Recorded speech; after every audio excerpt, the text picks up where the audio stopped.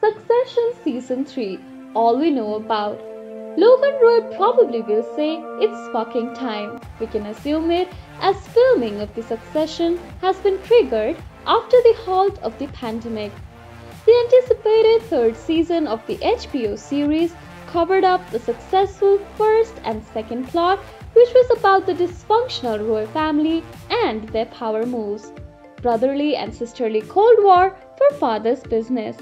In this video, we've included the release date, to plot, and many more about Succession Season 3. Stick with us until the end. From where was Succession Season 2 cut off? The throwing of a bombshell on his father by Kendall Roy was the last of Succession Season 2. The number one boy chose to betray media tycoon Logan Roy, who set up his son to take the fall for Waystar Royco's wrongdoings throwing a major wrench into the patriarch's plans for his heirs. What will be the plot for Succession Season 3? In an interview with the Jess Cagle show, Brian Cox told that he's the only cast member to know what is in the Succession Season 3.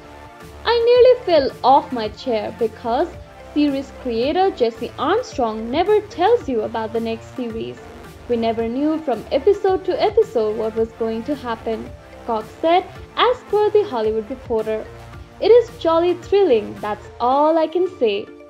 Cox added that the shooting of Succession Season 3 will be done with safety protocol for COVID. It is unlikely to happen in the street of New York City. He also said that our problem with the show is it is a variety show because we shoot on the move and chronologically but we now have to change in a way to be more controlled. Cox's co star Sarah also revealed that they would include the content of coronavirus in the Succession Season 3. She added, in her opinion, the show creator Jesse wants to be delicate about it and just classy. She said, It's a thing that everybody is aware about and the viewers are used to for this as mask and hand sanitizer have become daily part of life but might be in any case nothing that is unmistakable to such an extent that will truly handle it head on as that is not the show. What we all want to see is Roys doing the usual things, not bending towards the pandemic. Premiere of Succession Season 3 on the Emmy 2020, Nicholas Braun said that the show would be back next year. He also informed the shooting is yet to begin and the material is still a matter for discussion. HBO has also announced in March about delayed issues of pre production due to COVID 19. In August, Jesse told Variety he's hoping to begin shooting before December 22nd.